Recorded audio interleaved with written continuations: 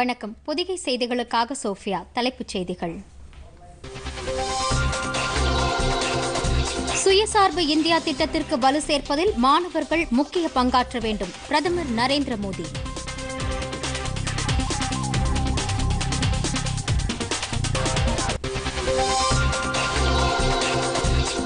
உலகிலேயே மிகப்பெரிய அளவிலான கொரோனா தடுப்பூசி ஒத்திகை நாடு முழுவதும் தொடங்கியது. இந்தியாவில் அனைவருக்கும் இலவச தடுப்பூசி போடப்படும். மத்திய அமைச்சர் ஹர்ஷ்வர்தன். ஹிமாச்சல பிரதேச மாநிலம் மணாலியிலும் நீடிக்கும் கடும் பனிப்பொழிவு. சிக்கித் தவிக்கும் ஐநூறு சுற்றுலா பயணிகளை மீட்க நடவடிக்கைகள் தீவிரம்.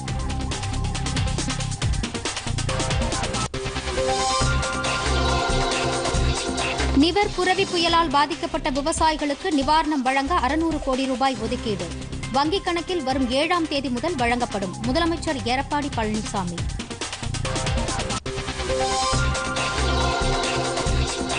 மும்பை தாக்குதலுக்கு சதித்திட்டம் தீட்டிய லஷ்கர் இ தொய்பா தீவிரவாதி ஜகீர் ரஹ்மான் லக்வி பாகிஸ்தானில் கைது.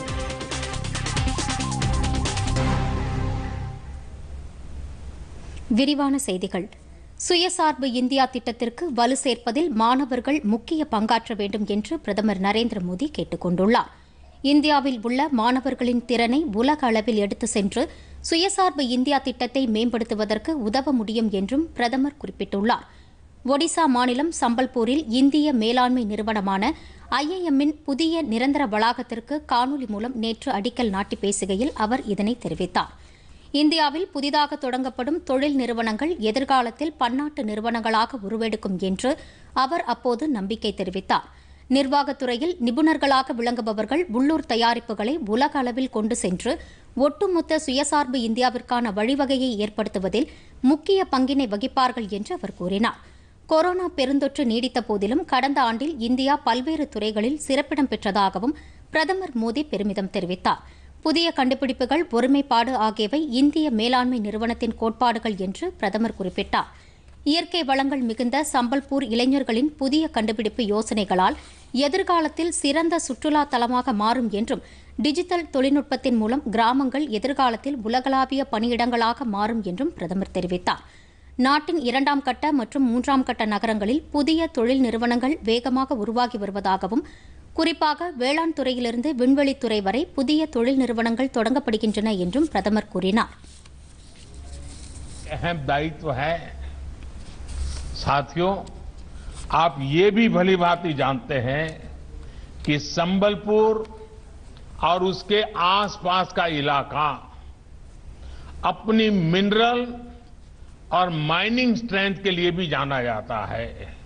आज दुनिया में अपॉर्चुनिटीज़ भी नहीं है तो मैनेजमेंट की दुनिया के सामने चैलेंजेस भी नए हैं।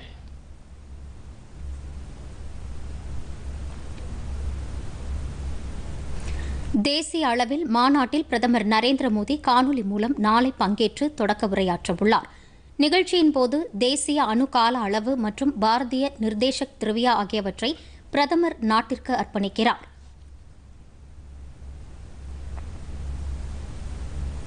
மேலும் தேசிய சுற்றுச்சூழல் தர நிர்ணய ஆய்வகத்திற்கும் பிரதமர் நரேந்திர மோடி அடிக்கல் நாட்டுகிறார். மத்திய சுகாதாரம் மற்றும் குடும்ப நலத்துறை அமைச்சர் ஹர்ஷ்வர்தன் இந்த நிகழ்ச்சியில் பங்கேற்கிறார். இரண்டு புள்ளி எட்டு என்ற நானோ நெடிகள் துல்லியத்துடன் இந்தியாவின் நிலையான நேரத்தை தேசிய அணு கால அளவு வழங்கும்.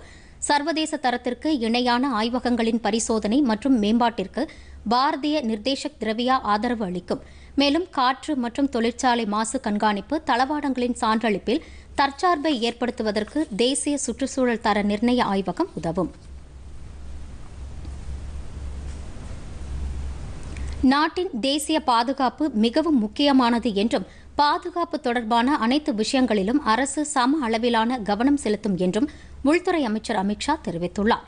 புதுதில்லியில் நேற்று தேசிய காவல் கே ஒன்பது என்ற பத்திரிகை செய்தியை வெளியிட்டு பேசிய அவர் தேசிய பாதுகாப்பிற்கு மத்திய அரசு அதிக முக்கியத்துவம் கொடுத்து தீவிர முயற்சிகளை எடுத்து வருகிறது என்று கூறினார். நாட்டிலேயே காவல்துறையின் மூப்ப நாய்கள் குறித்த சேவைகளுக்கான முதலாவது இதழாக இது வெளியிடப்பட்டுள்ளதாக கூறினார். காவல்துறையில் பணியில் ஈடுபடுத்தப்படும் மூப்ப நாய்கள் தொடர்பான பல்வேறு விஷயங்கள் இந்த புத்தகத்தில் இடம்பெற்றுள்ளதாக அவர் குறிப்பிட்டார். காவல்துறையினருடன் செயல்படும் மூப்ப நாய்கள் பிரிவு சமுதாயத்தின் பாதுகாப்பை உறுதி செய்வதில் கூடுதல் பங்கு வகிக்கிறது என்று தெரிவித்த அவர் போதைப் பொருட்களை கண்டறிதல் தீவிரவாதிகளை எதிர்த்து முறியடித்தல் போன்ற பணிகளிலும் நாய்களின் பங்கு குறிப்பிடத்தக்கது என்றார்.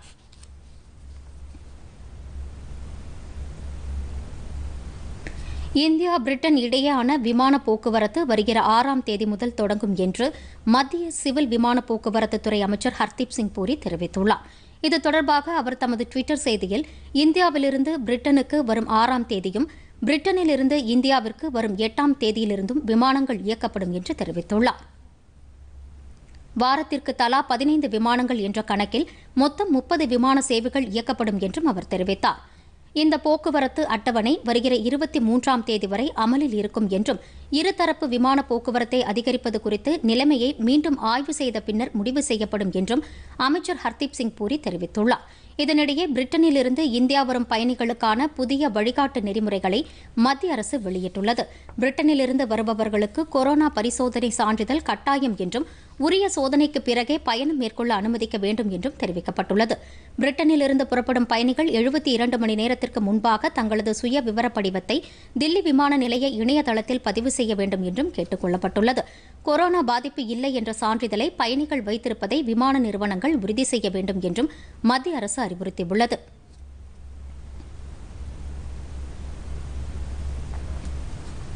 விவசாயிகளின் நலனை பாதுகாப்பதற்காக மத்திய அரசு மேற்கொண்டு வரும் நடவடிக்கைகள் ஈடு இணையற்றது என்று மத்திய தகவல் மற்றும் ஒலிபரப்புத்துறை அமைச்சர் பிரகாஷ் ஜவடேகர் தெரிவித்துள்ளார். புதுதில்லியில் செய்தியாளர்களிடம் பேசிய அவர் மத்திய அரசு கொண்டு வந்துள்ள புதிய வேளாண் சட்டங்கள் விவசாயிகளின் எதிர்காலத்தை மாற்றியமைக்கும் என்றும் அவர்கள் சுதந்திரமாக தங்களது விளைபொருட்களை விற்க முடியும் என்றும் நாட்டின் எண்ணூற்றி ஐம்பது கல்வியாளர்கள் உறுதியளித்திருப்பதாக தெரிவித்தார். புதிய வேளாண் சட்டங்கள் நிச்சயமாக விவசாயிகளுக்கு நன்மையைத்தான் ஏற்படுத்தும் என்றும் இதனையே கல்வியாளர்களும் சுட்டிக்காட்டியிருப்பதாகவும் அவர் தெரிவித்தார். விவசாயிகள் தங்களின் விளைபொருட்களை முழு சுதந்திரத்துடன் அவர்கள் விரும்பிய விலைக்கு விற்பதை புதிய வேளாண் சட்டங்கள் உறுதிப்படுத்துவதாகவும் அமைச்சர் ஜவடேகர் குறிப்பிட்டார். இந்தியாவில் அனைவருக்கும் கொரோனா தடுப்பூசி இலவசமாக போடப்படும் என்று மத்திய சுகாதாரம் மற்றும் குடும்ப நலத்துறை அமைச்சர் ஹர்ஷ்வர்தன் தெரிவித்துள்ளார். அனைத்து மாநிலங்கள் மற்றும் யூனியன் பிரதேசங்களில் கொரோனா தடுப்பூசி ஒத்திகை நேற்று தொடங்கியது. மத்திய சுகாதார அமைச்சகத்தின் கண்காணிப்பில் கொரோனா தடுப்பூசி புலனாய்வு முகைமை செயல்பாட்டின் கீழ் கல சுற்றுச்சூழல் அடிப்படையில் தடுப்பூசி ஒத்திகை தொடங்கப்பட்டுள்ளது. உலக அளவில் மிகப்பெரிய ஒத்திகையாக இந்தியாவில் இந்த தடுப்பூசி ஒத்திகை தொடங்கப்பட்டுள்ளது. தில்லியில் குருதேஜ் பகதூர் மருத்துவமனையில் நடைபெற்ற தடுப்பூசி ஒத்திகையை நேரில் ஆய்வு செய்த பின்னர் செய்தியாளர்களிடம் பேசிய மத்திய சுகாதாரத்துறை அமைச்சர் ஹர்ஷ்வர்தன் இந்த ஒத்திகை முடிந்த பின்னர் நாடு முழுவதும் அனைத்து மக்களுக்கும் இலவசமாக தடுப்பூசி போடப்படும் என்றார்.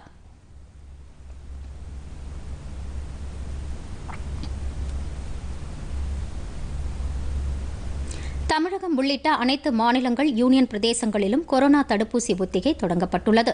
தமிழகத்தில் ஐந்து மாவட்டங்களில் தடுப்பூசி ஒத்திகை மேற்கொள்ளப்பட்டது. சென்னை ராஜீவ்காந்தி அரசு பொது மருத்துவமனையில் ஒத்திகையை சுகாதாரத்துறை செயலாளர் ஜே ராதாகிருஷ்ணன் தொடங்கி வைத்தார். பின்னர் செய்தியாளர்களிடம் பேசிய அவர் தமிழகத்தில் ஐந்து மாவட்டங்களில் பதினேழு இடங்களில் தடுப்பூசி ஒத்திகை நடைபெற்றதாக தெரிவித்தார். சுகாதார பணியாளர்கள் உள்ளிட்ட கொரோனா முன்கள பணியாளர்களுக்கு தடுப்பூசி போடுவதில் முன்னுரிமை அளிக்கப்படுவதாகவும் அவர் கூறினார். திருவள்ளூர் மாவட்டத்தில் மூன்று இடங்களிலும் நீலகிரி திருநெல்வேலி கோவை உள்ளிட்ட மாவட்டங்களில் அடங்கிய மொத்தம் பதினேழு இடங்களில் தடுப்பூசி ஒத்திகை தொடங்கியுள்ளது.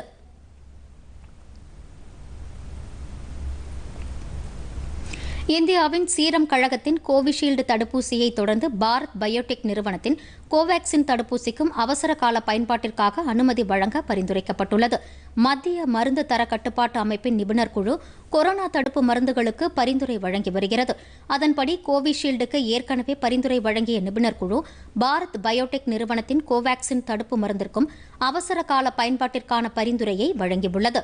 மேலும் அகமதாபாத்தை சேர்ந்த காடிலா நிறுவனத்தின் தடுப்பு மருந்து மூன்றாம் கட்ட பரிசோதனைக்கும் நிபுணர் குழு அனுமதி வழங்கியுள்ளது.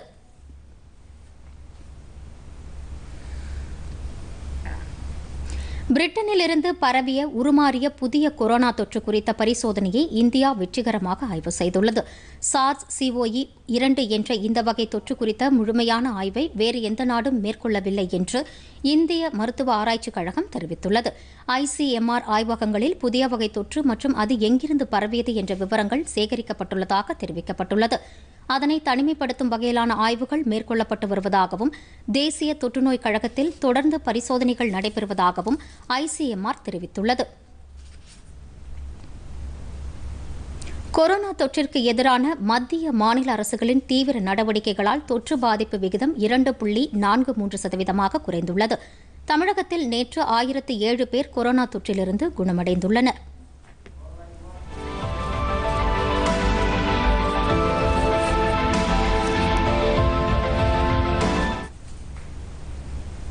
இந்தியாவில் கொரோனா தொற்றால் பாதிக்கப்படுவோர் எண்ணிக்கை மேலும் குறைந்து இரண்டு புள்ளி நான்கு மூன்று சதவீதமாக உள்ளது. மத்திய மாநில அரசுகளின் தீவிர நடவடிக்கையால் தொற்றால் பாதிக்கப்படுவோர் எண்ணிக்கை தொடர்ந்து குறைந்து வருகிறது. ஒரே நாளில் இருபத்தி இரண்டாயிரத்து தொள்ளாயிரத்து இருபத்தாறு பேர் தொற்றிலிருந்து குணமடைந்ததை அடுத்து நாடு முழுவதும் குணமடைந்தோர் மொத்த எண்ணிக்கை தொன்னூற்று ஒன்பது லட்சத்து இருபத்தாறாயிரத்து ஐநூற்று இருபத்தி ஏழாக அதிகரித்துள்ளது. இது தொன்னூற்று ஆறு புள்ளி ஒன்று இரண்டு சதவீதம் என்று மத்திய சுகாதார அமைச்சகம் தெரிவித்துள்ளது. நாடு முழுவதும் இரண்டு லட்சத்து நாற்பத்தைந்தாயிரத்து எழுநூற்று ஐம்பத்து நான்கு பேர் மட்டுமே தீவிர சிகிச்சையில் இருப்பதாக சுகாதார அமைச்சகம் தெரிவித்துள்ளது. மொத்த பாதிப்பு ஒரு கோடியே மூன்று லட்சத்து இருபத்து நான்காயிரத்து அறுநூற்று முப்பத்து ஒன்றாக உள்ளது என்றும் தெரிவிக்கப்பட்டுள்ளது. இந்தியாவில் உயிரிழப்பு விகிதம் ஒன்று புள்ளி நான்கு ஐந்து சதவீதமாக குறைந்துள்ளது. தமிழகத்தில் மேலும் ஆயிரத்தி ஏழு பேர் கொரோனா தொற்றிலிருந்து குணமடைந்துள்ளனர். இதன் மூலம் இதுவரை குணமடைந்தோரின் எண்ணிக்கை ஏழு லட்சத்து தொன்னூற்று ஒன்பதாயிரத்து நானூற்று இருபத்தி ஏழாக அதிகரித்துள்ளது. இதுகுறித்து மாநில மக்கள் நல்வாழ்வுத்துறை வெளியிட்டுள்ள அறிக்கையில் புதிதாக தொள்ளாயிரத்து பத்து பேருக்கு நோய் தொற்று கண்டறியப்பட்டுள்ளதாக குறிப்பிடப்பட்டுள்ளது. இதையடுத்து மாநிலத்தில் பாதிக்கப்பட்டோரின் எண்ணிக்கை எட்டு லட்சத்து பத்தொன்பதாயிரத்து எண்ணூற்று நாற்பத்தைந்தாக உயர்ந்துள்ளது. மேலும் பதினோரு பேர் உயிரிழந்ததன் மூலம் அதன் எண்ணிக்கை பனிரெண்டாயிரத்து நூற்றி நாற்பத்தாறாக உயர்ந்துள்ளது. தற்போது எட்டாயிரத்து இருநூற்றி எழுபத்தி இரண்டு பேர் சிகிச்சை பெற்று வருகின்றனர். உலக அளவில் எட்டு கோடியே நாற்பத்தொன்பது லட்சத்து முப்பத்தொன்பதாயிரத்து இருநூற்றி எழுபத்தாறு பேர் தொற்றால் பாதிக்கப்பட்டுள்ளனர். இதுவரை பதினெட்டு லட்சத்து நாற்பத்தி இரண்டாயிரத்து எழுநூற்றி இருபத்தி இரண்டு பேர் கொரோனா தொற்றுக்கு உயிரிழந்துள்ளனர். உலகம் முழுவதும் ஆறு கோடியே எழுபத்து நான்காயிரத்து பதினான்கு பேர் தொற்றிலிருந்து குணமடைந்துள்ளனர். ஹிமாச்சல பிரதேச மாநிலத்தின் குலு மாவட்டத்தில் அடங்கிய மணாலியில் அட்டல் சுரங்கப்பாதை மற்றும் சொலாங் நல்லா இடையே கடந்த சில நாட்களாக கடுமையான பனிப்பொழிவால் அங்கு ஐநூறுக்கும் மேற்பட்ட சுற்றுலா பயணிகள் சிக்கி தவிக்கிறார்கள். அட்டல் சுரங்கப்பாதை சாலையில் தவிக்கும் அந்த பயணிகளை மீட்க மணாலி பகுதியைச் சேர்ந்த அதிகாரிகள் தெரிவித்துள்ளனர். அந்த சாலையில் கடும் வாகன போக்குவரத்து நீடிப்பதால் அதனை சீர் செய்து அந்த பகுதியில் தவிக்கும் மக்களை மீட்டு வர உரிய நடவடிக்கைகள் எடுக்கப்பட்டுள்ளதாக அவர்கள் மேலும் கூறினா் தவிக்கும் சுற்றுலா பயணிகளுக்கு தேவையான உதவிகளை அளிப்பதற்காக மீட்புக் குழுவினர் அங்கு அனுப்பி வைக்கப்பட்டனர். டாக்ஸிகள் மற்றும் பேருந்துகள் மூலம் அவர்கள் குலாங் என்ற இடத்திற்கு அழைத்து செல்லப்பட்டனர். தொடர்ந்து மீட்புப் பணிகள் மேற்கொள்ளப்பட்டு வருவதாக அதிகாரிகள் தெரிவித்தனர். இதற்கிடையே இமாச்சல பிரதேசத்தில் பெரும்பாலான இடங்களில் பனிப்பொழிவு நீடிக்கும் என வானிலை ஆய்வு மைய தகவல்கள் தெரிவிக்கின்றன.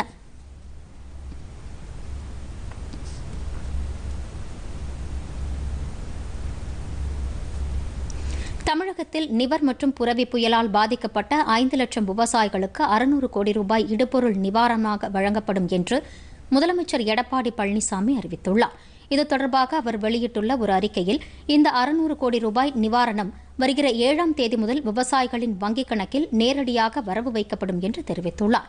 மானாவரி மற்றும் நீர்ப்பாசன வசதி பெற்ற நெற்பயிர்களுக்கும் நீர்ப்பாசன வசதி பெற்ற இதர பயிர்களுக்கும் ஹெக்டேர் ஒன்றிற்கு வழங்கப்படும் இடுபொருள் நிவாரணத் தொகை பதிமூன்றாயிரத்து ஐநூறு ரூபாயிலிருந்து இருபதாயிரம் ரூபாயாக உயர்த்தப்படும் என்றும் அவர் தெரிவித்துள்ளார்.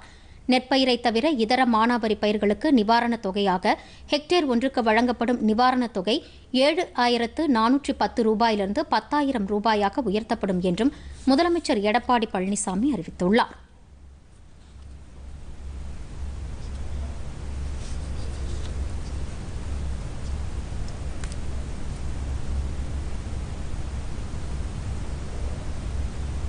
விளம்பர இடைவேளைக்கு பிறகு செய்திகள் தொடரும்.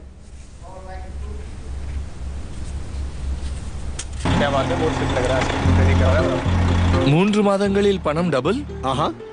ஃபாஸ்ட் மற்றும் ஹை ரிட்டர்ன்ஸுமா என்ன ஸ்கீம்பா இது? நேத்து இது இங்க இல்லையே. நாளைக்கு இங்க இருக்காது. நீ எப்பவாவது அஞ்சு ஓவர்ல டபுள் செஞ்சு அடிச்சிருக்கியா? இந்த மாதிரி ஸ்கீம் நம்பினா நாம ஏமாற வேண்டியதுதான். ஆர்பிஐ சொல்லுது உங்க பணத்தை பத்திரமா வச்சுக்கோங்க. புத்திசாலித்தனமா முதலீடு பண்ணுங்க. அதிக ரிட்டர்ன்ஸ் முன்னாடி போனா ரிஸ்க்கும் அதிகம் எடுக்க வேண்டியிருக்கும்.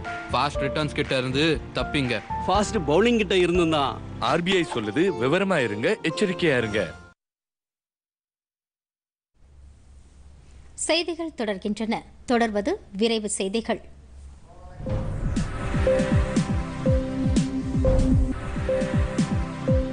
புதுச்சேரியில் பொங்கல் பரிசாக சிவப்பு நிற குடும்ப அட்டைதாரர்களுக்கு இருநூறு ரூபாய் வழங்கப்படும் என்று முதலமைச்சர் நாராயணசாமி அறிவித்துள்ளார்.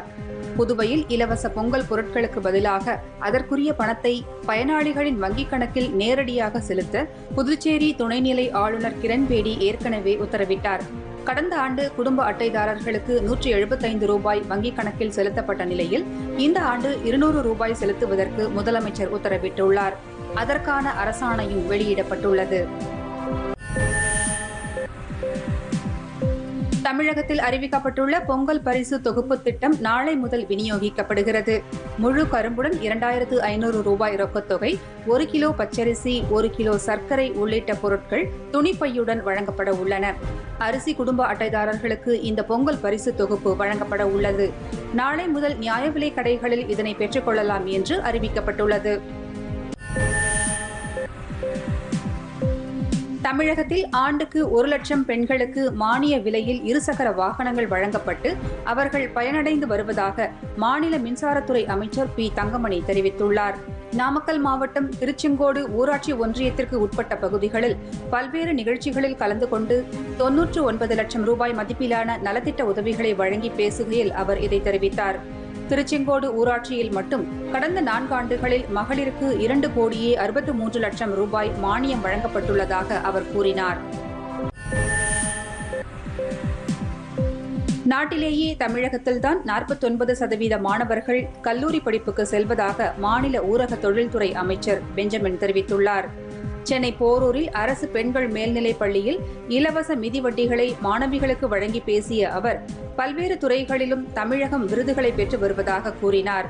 ஆண்டுதோறும் பள்ளிகளில் தேர்ச்சி விகிதம் மாணவர் சேர்ப்பு விகிதம் தொடர்ந்து அதிகரித்து வருவதாகவும் ஒரே ஆண்டில் பதினோரு அரசு மருத்துவக் கல்லூரிகள் தமிழகத்தில் தொடங்கப்பட்டுள்ளதாகவும் அமைச்சர் குறிப்பிட்டார்.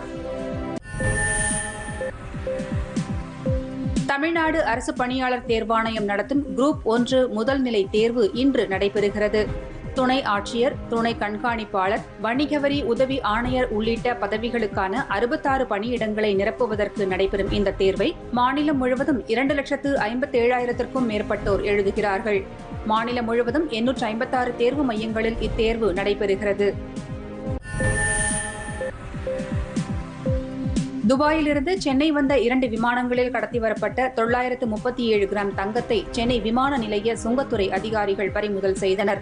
இது தொடர்பாக இரண்டு பேர் கைது செய்யப்பட்டுள்ளனர். உளவுத்துறையினருக்கு கிடைத்த தகவலின் அடிப்படையில் ஏர் இந்தியா விமானத்தில் வந்த நபரிடம் சோதனை நடத்திய போது பல்வேறு வடிவங்களிலான எண்ணூற்று ஐம்பது கிராம் தங்கம் பறிமுதல் செய்யப்பட்டதாகவும் மற்றொரு விமானத்தில் வந்த நபரிடம் சோதனையிட்டதில் ஐம்பத்தேழு கிராம் தங்கம் பறிமுதல் செய்யப்பட்டதாகவும் சுங்கத்துறை அதிகாரிகள் தெரிவித்துள்ளனர். தொடர்ந்து விசாரணை நடைபெற்று வருகிறது.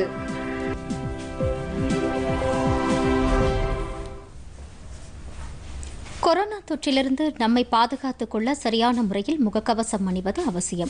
இதுகுறித்த நாடு தழுவிய விழிப்புணர்வு இயக்கத்தை டிடி நியூஸ் செய்தி அலைவரிசை மேற்கொண்டு வருகிறது. உலகின் ஒட்டுமொத்த மனித சமூகத்திற்கும் அச்சுறுத்தலாக கொரோனா வைரஸ் தொற்று விளங்கி வருகிறது. மத்திய மாநில அரசுகளின் சிறப்பான நடவடிக்கைகளால் இந்தியாவில் கொரோனா தொற்று பரவல் வேகம் படிப்படியாக குறைந்து வருகிறது. முகக்கவசம் அணிவது சமூக இடைவெளியை பின்பற்றுவது உள்ளிட்ட மத்திய அரசின் வழிகாட்டுதல்கள் மூலம் இது சாத்தியமாகி வருகிறது. மக்களுக்கு தடுப்பூசி போடும் பணிகள் விரைவில் தொடங்கும் என்று எதிர்பார்க்கப்படுகிறது.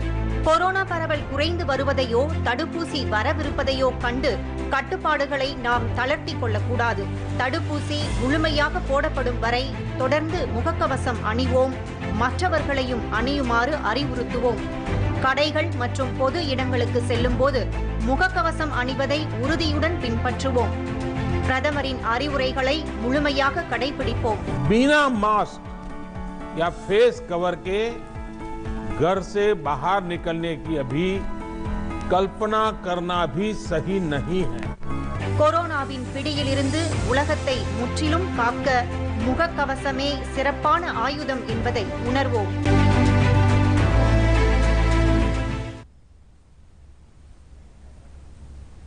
தொடர்வது உலக செய்திகள்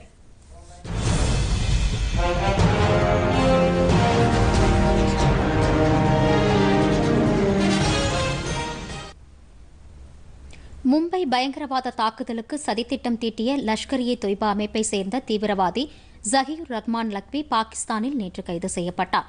பயங்கரவாத செயல்களுக்கு நிதி திரட்டிய வழக்கில் அந்நாட்டின் பஞ்சாப் மாகாண காவல்துறையின் தீவிரவாத தடுப்பு பிரிவினர் கைது செய்ததாக தெரிவிக்கப்பட்டுள்ளது. உளவுத்துறைக்கு கிடைத்த தகவலின் அடிப்படையில் அவரை கைது செய்ததாகவும் மருந்து கடை மூலம் பயங்கரவாதத்திற்கு நிதி திரட்டி லக்வி செயல்பட்டு வந்ததாகவும் அவருடைய சொந்த செலவுகளுக்காகவும் அந்த நிதியை பயன்படுத்தி வந்ததாகவும் காவல்துறையினர் தெரிவித்தனர். இந்த குற்றச்சாட்டின் அடிப்படையில் லாகூரில் உள்ள பயங்கரவாத தடுப்பு நீதிமன்றத்தில் லக்வி மீது வழக்கு விசாரணை நடைபெறும் என்றும் தெரிவிக்கப்பட்டுள்ளது. மும்பையில் கடந்த இரண்டாயிரத்தி எட்டாம் ஆண்டு நூற்றி அறுபத்தி ஆறு பேர் உயிரிழக்க காரணமான பயங்கரவாத தாக்குதலின் பின்னணியில் முக்கியமாக செயல்பட்டவர் லக்வி என்பது குறிப்பிடத்தக்கது. மேற்கு ஆப்பிரிக்க நாடான மாலியின் வடகிழக்கு பகுதியில் பிரான்ஸ் ராணுவத்தினர் சென்ற வாகனத்தின் மீது நடத்தப்பட்ட அதிநவீன வெடிகுண்டு தாக்குதலில் இரண்டு ராணுவத்தினர் உயிரிழந்தனர். இந்த தகவலை பிரான்ஸ் அரசு உறுதி செய்துள்ளது. உயிரிழந்த இரண்டு வீரர்களில் ஒருவர் முப்பத்தி மூன்று வயதான பெண் என்பது குறிப்பிடத்தக்கது. இதேபோன்றதொரு வெடிகுண்டு தாக்குதலில் மூன்று ராணுவத்தினர் உயிரிழந்த ஓரிரு தினங்களில் மீண்டும் இந்த தாக்குதல் நடத்தப்பட்டுள்ளது. இந்த தாக்குதலில் உயிரிழந்த ராணுவத்தினருக்கு பிரான்ஸ் அதிபர் இமானுவேல் மேக்ரோன் இரங்கல் தெரிவித்துள்ளார். கடந்த இரண்டாயிரத்தி பதிமூன்றாம் ஆண்டு மாலியில் பிரான்ஸ் ராணுவத்தினர் பணியமர்த்தப்பட்ட பின்னர் இதுவரை ஐம்பது ராணுவத்தினர் கொல்லப்பட்டுள்ளனர் என்பது குறிப்பிடத்தக்கது.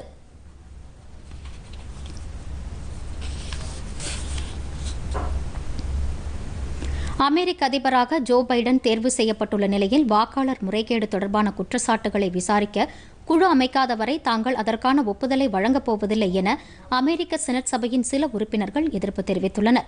டெட்குர்ஸ் தலைமையிலான பதினோரு செனட் உறுப்பினர்கள் அந்த குற்றச்சாட்டு குறித்து ஆய்வு செய்ய வேண்டும் என வலியுறுத்தியுள்ளனர்.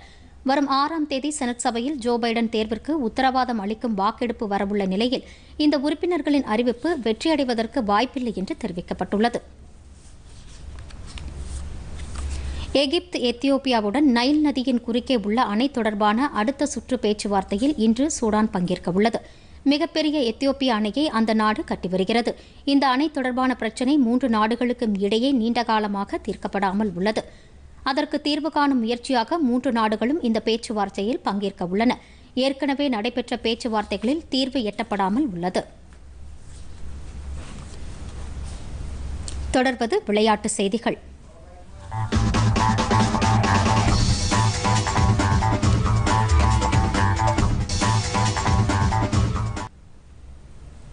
ஆஸ்திரேலியா சென்றுள்ள இந்திய கிரிக்கெட் வீரர்கள் ஐந்து பேர் கொரோனா தடுப்பு பாதுகாப்பு விதிகளை மீறியதாக தனிமைப்படுத்தப்பட்டுள்ளனர் டெஸ்ட் கிரிக்கெட் அணியின் துணை கேப்டன் ரோஹித் சர்மா ரிஷப் பந்த் சுப்மன் கில் பிருத்திவிஷா நவ்தீப் ஷைனி ஆகிய ஐந்து பேர் மீது எழுந்த கொரோனா விதிமீறல் புகாரை தொடர்ந்து இந்திய கிரிக்கெட் வாரியமும் ஆஸ்திரேலிய கிரிக்கெட் வாரியமும் இணைந்து அவர்களிடம் விசாரணை நடத்தவுள்ளதாக தகவல்கள் தெரிவிக்கின்றன. நான்கு டெஸ்ட் போட்டிகளில் இந்திய கிரிக்கெட் அணி விளையாடி வருகிறது. ஏற்கனவே இரண்டு போட்டிகள் முடிவடைந்துள்ள நிலையில் மூன்றாவது டெஸ்ட் போட்டி சிட்னியில் வரும் ஏழாம் தேதி தொடங்குகிறது. இந்நிலையில் மெல்பர்ன் மைதானத்தில் திறந்தவெளி உணவு விடுதியில் போதிய சமூக இடைவெளியின்றி அமர்ந்து உணவருந்தியதாக வீடியோ காட்சிகள் வெளியாயின. என்றாலும் தங்கள் மீதான இந்த புகாரை ரோஹித் சர்மா உள்ளிட்டோர் மறுத்துள்ளனர். தொடர்வது வானிலை.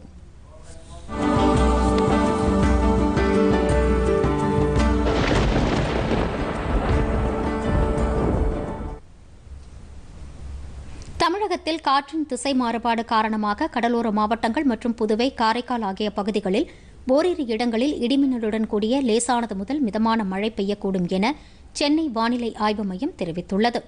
சென்னை மற்றும் புறநகர் பகுதியை பொறுத்தவரை வானம் பொதுவாக மேகமூட்டத்துடன் காணப்படும் என்றும் நகரின் ஒரு சில பகுதிகளில் லேசானது முதல் மிதமான மழை பெய்யக்கூடும் என்றும் அந்த மையம் தெரிவித்துள்ளது.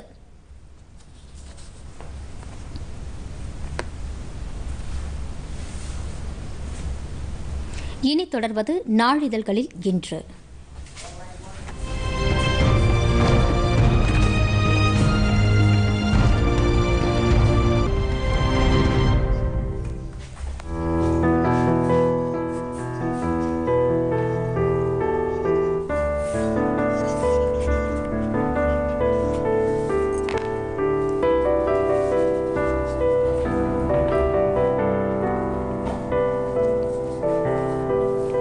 சென்னையில் நாளை முதல் மின்சார ரயில் சேவை அறுநூற்றி அறுபதாக அதிகரிப்பு.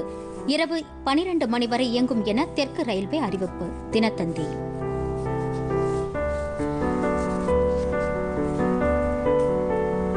சென்னையில் போக்குவரத்து விதிமீறல் தொடர்பாக கடந்த ஆண்டு இருபத்தி எட்டு லட்சத்து எழுபதாயிரம் வழக்குகள் பதிவு. கொரோனா பாதிப்பால் முப்பத்தி ஆறு சதவீதம் குறைவு.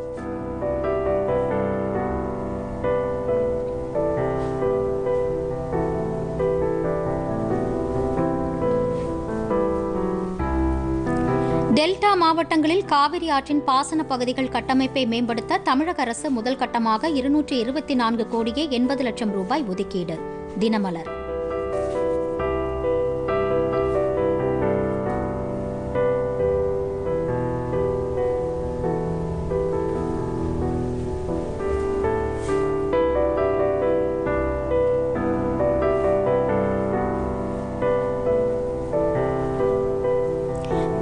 பண்டிகைக்கு பத்து நாட்களே உள்ள நிலையில் சேலம் சுற்றுவட்டார பகுதிகளில் பொங்கல் பானைகள் தயாரிப்பு தீவிரம். பானைகளுக்கு விதவிதமாக வர்ணம் பூசும் பணியில் ஈடுபட்டுள்ள தொழிலாளி. தினகரனில் படம்.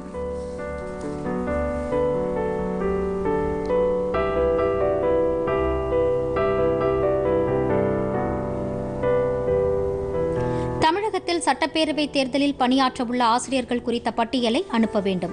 தலைமை ஆசிரியர்களுக்கு முதன்மை கல்வி அதிகாரி அறிவுறுத்தல். தி இந்து தமிழ் மீண்டும் தலைப்புச் செய்திகள். சுயசார்பு இந்தியா திட்டத்திற்கு வலு சேர்ப்பதில் மாணவர்கள் முக்கிய பங்காற்ற வேண்டும். பிரதமர் நரேந்திர மோடி.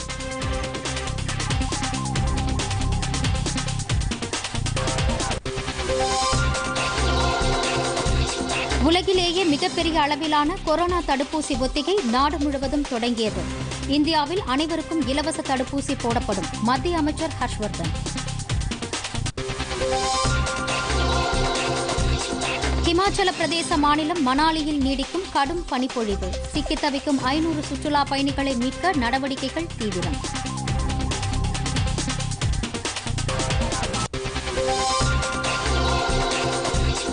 நிவர் புரவி புயலால் பாதிக்கப்பட்ட விவசாயிகளுக்கு நிவாரணம் வழங்க அறுநூறு கோடி ரூபாய் ஒதுக்கீடு.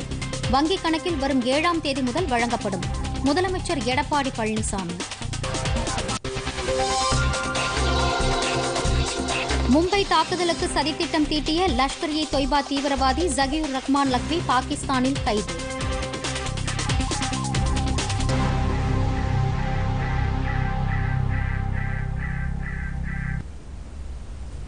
பொதிகை செய்திகளை யூடியூபில் தமிழ் நியூஸ் தூர்தர்ஷன் என்ற சேனலிலும் முகநூலில் டிடி பொதிகை நியூஸ் என்ற பக்கத்திலும் ட்விட்டரில் டிடி நியூஸ் சென்னை என்ற பக்கத்திலும் இன்ஸ்டாகிராமில் டிடி பொதிகை நியூஸ் என்ற பக்கத்திலும் காணலாம்.